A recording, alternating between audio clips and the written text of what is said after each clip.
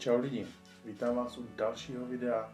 Dneska vám představím červený formovací písek od firmy Senteam z Holubic. Je to olejový formovací písek, jak už jsem zmiňoval ve videích předtím, chtěl jsem ho vyzkoušet. Je suprovej na detaily, odlil jsem si do toho takovýhle dvě cihličky. Jedna byla vlastně do starého písku, křemičitýho, a tahle byla do toho nového červeného olejového písku. Dost bylo kecu, pojďte se na to podívat.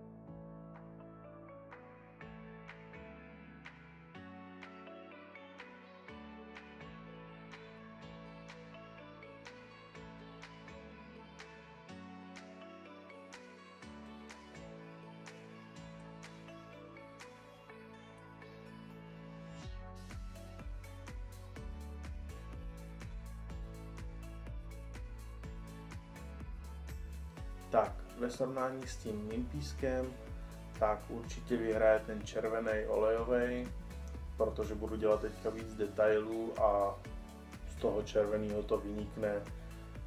Na tom mým křemičitým by to zaniklo nebo by to chtělo spoustu času na opracování.